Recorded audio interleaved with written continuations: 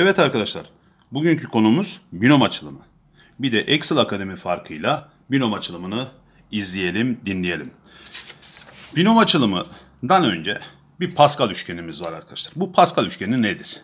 İşin garip tarafı yani aslında Pascal üçgeni öyle mükemmel bir izah yapmış ki Pascal e, ne yapmış? Kat sayılarla ilişkiyi kurmuş. Mesela ne yapmış? 1 demiş, 1, 1 şeklinde örgü örerek ne yapmış? Kendisini devamını getirmiş. Mesela 1 dedikten sonra yine katsayılar 1, 1 deyip buraya birler devam ederken aşağı doğru inerken bu taraftan da toplamlarını getirmiş arkadaşlar. Mesela ne olmuş? 3, 3, 3, 3 şeklinde yerleştirmiş. İşin garip tarafı öbür tarafına bakacak olursak bu bir ne demektir derseniz iki farklı değişkenli ifadede mesela ne yapmış? X ve Y'nin toplamının sıfırıncı üssü birdir arkadaşlar. İşte Pascal üçgenini devamını getirmiş olduk.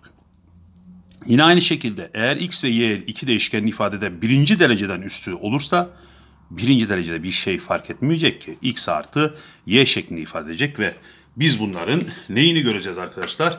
Katsayılarına baktığınız zaman şurası 1, şurası da 1'dir arkadaşlar. Yine Pascal üçgenindeki ifadeyi vereceğiz. Peki yine çarpanları ayırma konusunda tam kareyi ifade ettiğimiz ikinci dereceli üstünü koyduğumuz takdirde o zaman da ne yapacağız arkadaşlar? Şunu kullanacağız. X'in karesi birinci ile ikincinin hani böyle öğretmiştik ya arkadaşlar birinci ile ikincinin çarpımının iki katı şeklinde ifade etmiştik. 2xy artı y'nin karesi. Peki buna baktığımız takdirde kat sayılarına bakınca burasının 1, burasının 2, burasının 1 olduğunu yine Pascal üçgenini verdiğini gösterdik. Küp açılımını yaptığınız takdirde yine çarpanları ayırma konusundan bildiğiniz küp açılımı nedir arkadaşlar? Birincinin küpü, birinci ile ikincinin çarpımının hatta ikincinin de karesi bir de 3 katını alacağız. Şu şekilde artı birinci küçülürken ikinci büyüyecek dereceleri. 3 x 1'e düştü, y 2'ye çıktı. Artı y'nin küpü şeklinde ifade ettik. Buradaki katsayılara baktığınız takdirde yine bakacağız ki Pascal burada da yanılmamış şeklinde ifade edeceğiz. 1, 3, 3, 1 şeklinde. Dördüncüyü de açalım hazır buraya yazmışken. Kuralımız ne? Birincinin derecesi küçülürken ikincinin derecesi büyüyor arkadaşlar. Peki bakalım ne diyeceğiz? X'in dördü. Birinciyle yani x'in küpü oldu. Küçültüyoruz. Y'nin. Burada y'nin sıfır vardı. Burada da y'nin biri var artık. Katsayı olarak da 4 alacağız. Artı 6 x kare y'nin karesi x küçüldü y büyüdü. Artı 4 çarpı x1 y'nin küpü artı y'nin neyi arkadaşlar? Dördüncü derecesi. Yine buradaki katsayılara baktığınız takdirde birinci katsayı 4, burası 6, burası 4, burası ise 1. Yine Pascal'ın katsayılarını, kurallarını oturtturmuş olduk. Bu bu şekilde devam edecek ama bu bu şekilde devam edecek ama işin garip tarafı Pascal o kadar yani zeki bir insanmış ki bakın bu tarafı da var. Bu tarafta ne var arkadaşlar? 11'in sıfırı. 11'in 11 üstü sıfır nedir? 1'dir arkadaşlar. Peki 11'in biri nedir arkadaşlar? 11'in birinci üssü ise 11'dir. Bakın 11. Peki yine aynı şekilde 11'in karesi nedir derseniz arkadaşlar? 11'in karesi ise 121'dir arkadaşlar. Bakın 121. Peki 11'in küpü nedir derseniz arkadaşlar? 11'in küpü ise 1331'dir arkadaşlar. Peki 11'in dördü nedir derseniz arkadaşlar? 11'in dördü ise 14.641'dir. İnanmıyorsanız teker teker teker teker ne yaparsınız? Çarparsınız bulursunuz. Peki ben bir kulvar daha ileri gitmek istiyorum. 11'in 5'ini merak ettim. Hemen bakalım. O zaman bir örgü örelim şöyle. Burası ne olacak arkadaşlar? 1. Bu ikisini toplarsanız 5. Bu ikisini toplarsanız 10. Bu ikisini toplarsak 10. Burası toplarsak 5. Ve buraya da 1. Peki 11'in 11'in 5'ini söylerseniz bu iş olmaz. Ne yönden olmaz? Çünkü bunlar hep bir koltukluk mesafeli yer taşır.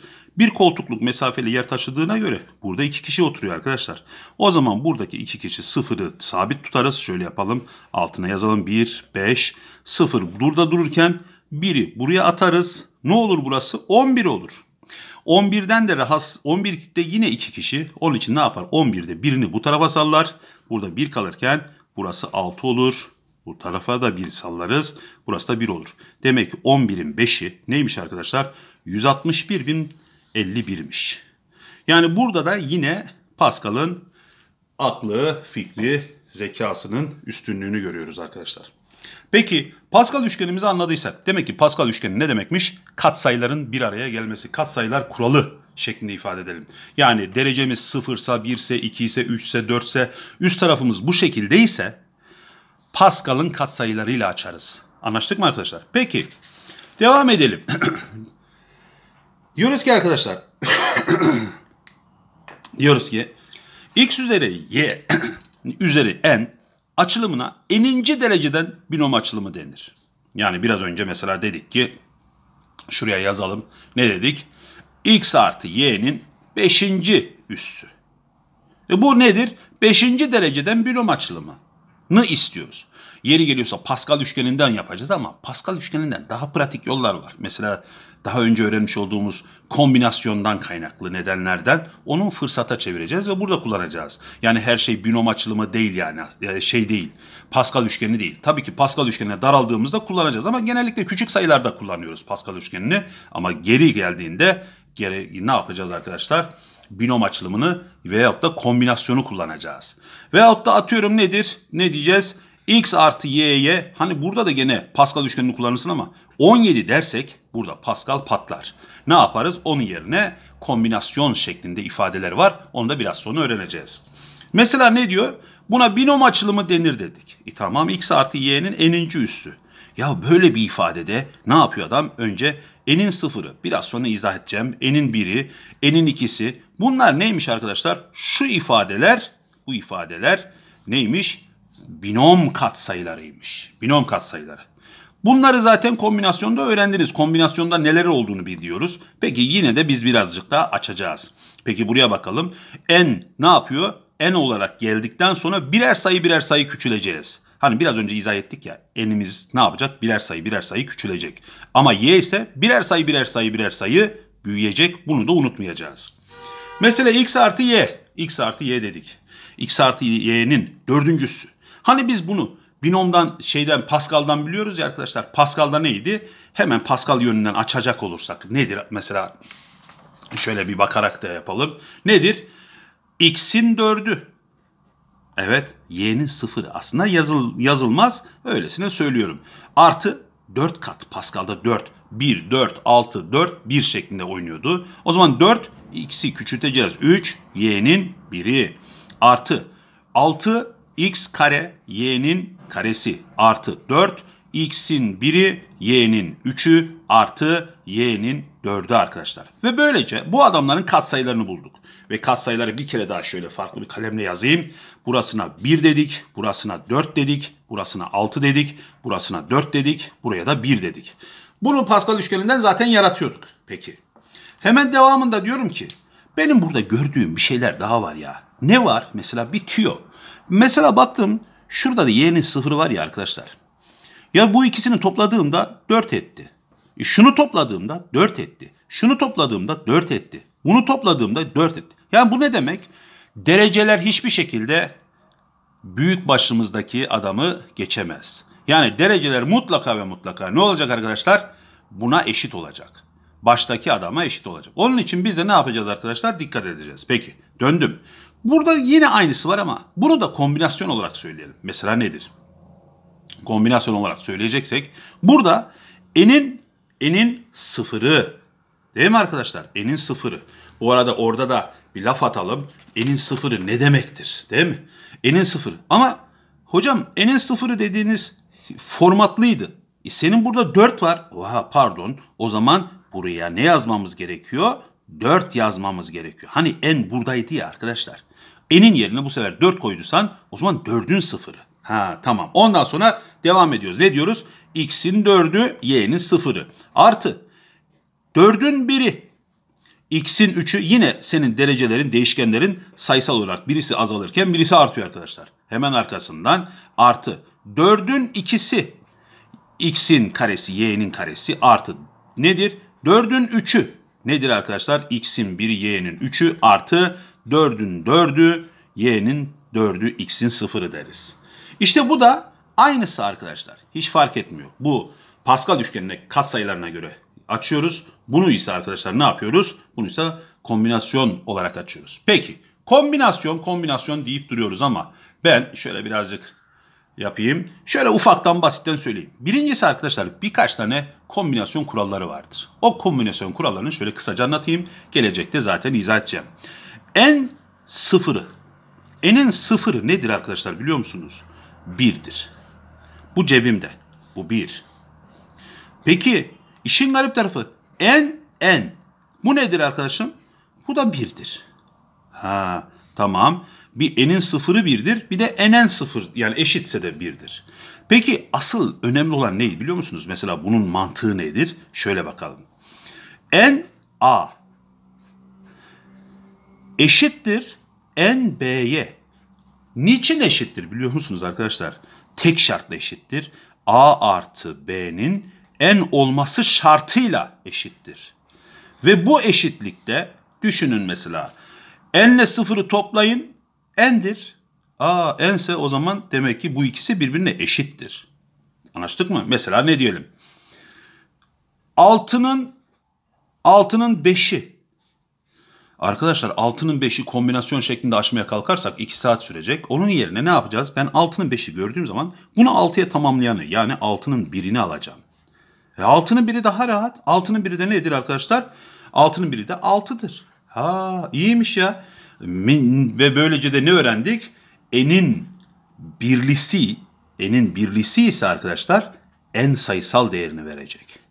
Bunu da böyle kopya olarak cebimize koyacağımız notlar. Sizler zaten bu konuları kombinasyon konusundan sonra geldiği için binom açılımı bunları zaten biliyor olmanız gerekiyor arkadaşlar. Ve bu konularda kuralımızı binomda ne kullanıyoruz? Genellikle en sık kullandığımız şeyler bunlar. Bir de açılımını da göstereyim sonra. N'in sıfırlısı ve N'in enlisi. Bunlar ikisi birbirlerine eşittir arkadaşlar. İşte onun için 4'ün sıfırlısıyla 4'ün dörtlüsü birlik sayısal değer verir. Bunun haricinde 4'ün 1 ile 4'ün 3'ü arkadaşlar birbirlerine şu kuraldan dolayı A artı B'nin üstteki sayıyı verdiği takdirde mesela 1, 3 daha 4'ü verdiği takdirde bunlar da birbirlerine eşittir ve 4'ün biri de şuradan dolayı 4'tür yani eni verir. O zaman 4'ün 1'i 4'ü ise 4'ün 3'ü de 4'tür deyip buradaki kuralı verir. 4'ün ikisi ise arkadaşlar yine kombinasyon sorusundan kaynaklı nedenden dolayı onları da ne yapacaksınız? Açılımını yapacaksınız. Biraz sonra yine bir açılım da kombinasyonun açılımını izah edeceğim. Şimdi peki diyoruz ki şöyle geçiyoruz. Diyoruz ki arkadaşlar normal bir e, x artı y'nin x artı y'nin açılımında neler vardır neler yoktur bir onları bana izah edebilir misiniz? E tabii ki elimden geldiğince izah etmeye çalışayım. Mesela diyor ki biraz önce izah ettim ya n artı bir tane terim vardır. Ha, ne demek yani? Mesela uyduralım. x artı y'nin karesi diyelim. E burada 2 var. Kaç terim var bir bakalım. x'in karesi artı 2xy artı y'nin karesi. Bu birinci terim, bu ikinci terim, bu da üçüncü terim. Üç terim varmış. Yani ne yaptık? Artı bir dedik. Bakın sen burada en sen, ben sana bir fazla yerleştireceğim diyeceğiz. Mesela bakalım x artı y'nin bunu açmamız imkansız. 17 desem kaç terimi vardır? Bir fazlasını söyleyeceğiz. Bir fazlası da nedir? 18 terim vardır diyeceğiz arkadaşlar. Anlaştık mı? Peki x artı y'nin üstler toplamı daima n'dir. Hani biraz önce söyledik ya. Bakın mesela 1, 1, 2'yi verdim mesela. Atıyorum biz hiç bilmiyoruz. n diye ifade edeyim. n. Ama adam şöyle nokta nokta nokta demiş. Bir tane uyduruyorum. Şuraya artı a demiş. x'in x'in 17'si çarpı y'nin 13'ü arkadaşlar. Böyle de devam etmiş. n nedir diye sorsam. n nedir? E ben nereden bileyim n nedir? Ama şurada hemen uyanmamız gerekiyor. x'lerin ve y'lerin üstlerinin toplamı sana neyi vermeli? N'i vermeli. Kesinlikle. Daima. Mesela bakın burada 1 1 değil mi? O zaman 17 ile 13'ü toplarsanız arkadaşlar ne yapar? 30'dur bu sayısal değerin sonucu. Yani x ve y'lerin üstlerinin toplamı mutlaka mutlaka neyi verecektir? Kendinizdeki sayıyı verecektir. Üstünüzdeki sayıyı verecektir. Anlaştık mı arkadaşlar? Peki devam ediyoruz. x artı y'nin eğer katsayıları yoksa, eğer katsayıları yoksa, onlara 1 verirseniz eğer, o zaman nedir? Katsayılar toplamını bulacaksınız zaten ama o katsayılar toplamı da nedir? 2 üstü n'dir. Mesela atıyorum. Mesela şurada kullanabiliriz. Ne diyelim? x artı y'nin x artı y'nin karesi diyelim. Bunun karesinin hani katsayısı yok katsayısı yok. X yerine y yerine 1 koysanız ne olur? E 1 koyun 1 artı 1'in karesi o da nedir? 2'nin karesi o da nedir? 4'tür arkadaşlar. Demek ki katsayılar toplamı 4'müş. Ben inanmıyorum. Açılım var burada. Bakalım 1, 2, 1. O zaman 3'ünün toplamı neyi verecektir? 4'ü verecektir arkadaşlar. Adamlar doğru söylüyormuş demek. Ama ne şartla? Bu adamların bu adamların katsayıları olmayacak. Anlaştık mı arkadaşlar? Peki yine bunlarla alakalı sorularımız bol soru yapacağım inşallah. Bir bakalım hemen arkasından neler geliyor. Yine yine binom açılımının temel özelliklerinden aktardığım, derlediğim notlarımız var. Diyor ki mesela katsayılar toplamını bulmak için arkadaşlar. Çünkü sorularda öyle gelecek. Katsayılar toplamını bulmak için değişkenlerin yerine bir yazılır. Ha, o zaman iyiymiş. Tamam. Sabit sayıyı bulmak içinse değişkenlerin yerine ne yazılır? Sıfır yazılır. Bu lafları unutmayın arkadaşlar. Bu ikisi de çok önemli. Sizlere soracaklar çünkü. Diyecekler ki bunun katsayılar toplamı nedir? Ya da bunun nedir? Ee, sabit sayısı nedir? E, sabit sayı varsa x'siz yani değişkensiz ifade vardır. Değişkensiz ifade varsa x'leri y'leri yok etmek lazım. Neyle yok ederiz? Sıfırla yok ederiz. Katsayılar toplamı diyorsa demek ki x'ler ve y'lerin katsayılarını soruyoruz. Dolayısıyla onları yok etmeyeceğiz ama etkisiz hale getireceğiz. Etkisiz hale kim getirir? Bir getirir. Onun için de buraya bir yerleştireceğiz. Bu lafları unutmayın arkadaşlar. Şimdi arkasından baştan itibaren şu sırada terim sayısı baştan 17. baştan 13. gibi laflar var. İşte bizim bu laflarımız terim sayısını, terim sayısı nedir arkadaşlar? Şöyle aldım kestim. Terim sayısını bana söyleyecek. Mesela 13. terim diyecek. 13. terim diyecek ama ben orada tek tek tek sayacağım. Aslında ne var burada biliyor musunuz? Ne faktörü var? Sıfır faktörü var. Hani baştan itibaren n'in sıfırı, n'in biri, n'in ikisi diye yazıyoruz ya kombinasyon şeklinde. İşte o sıfır bana artı bir sayısını eklettirmeme sebebiyet veriyor. Onun için artı bir sayısını eklettirerek ilerlettirdiğinden dolayı terim sayısını bu şekilde ifade ediyoruz. Üstümüzdeki ifade, üstümüzdeki sayı yeri geliyorsa nedir? n, r şeklinde ifade etsek bile sonuç itibariyle bu şekilde alacağız. Peki buraya baktık. En önemlisi, binomdaki en önemli konu şu arkadaşlar. Bakın. Direkt olarak baştan terimin kat sayısını veyahut da değişken yapısını işte bununla buluruz arkadaşlar. Buna iki tane hatta üç tane yıldız atıyoruz.